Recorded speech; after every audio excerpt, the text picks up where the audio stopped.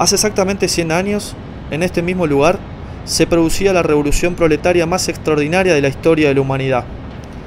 El partido bolchevique, con Lenin a la cabeza, tomaban el Palacio de Invierno, un emblema del poder zarista, y ponían punto final a la monarquía que gobernó Rusia durante varios siglos.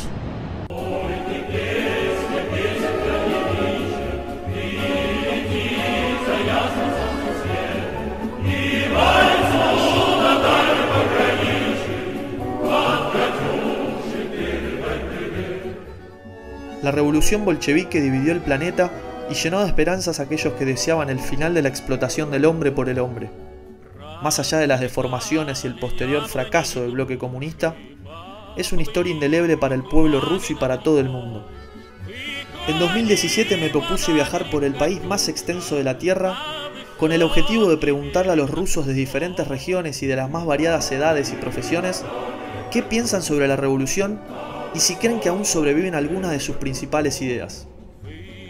En tres meses recorrí más de 11.000 kilómetros a través de la mítica ruta transiberiana, cruzando ocho usos horarios y visitando más de 15 ciudades, desde Moscú hasta el lejano oeste, pasando por la desafiante e interminable Siberia.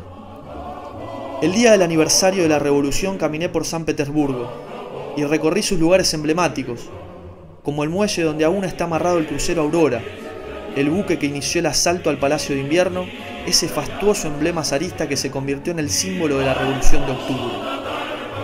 El desafío del viaje fue alejarme por un momento de los manuales y las doctrinas, para acercarme a lo tangible del presente, pero no para borrar el pasado, sino para intentar entenderlo a través de las interpretaciones de los propios rusos, cargados de experiencias familiares y aprendizajes dispares acerca de este acontecimiento fenomenal.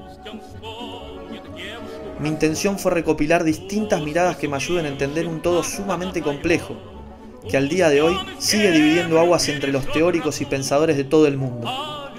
La Revolución Rusa.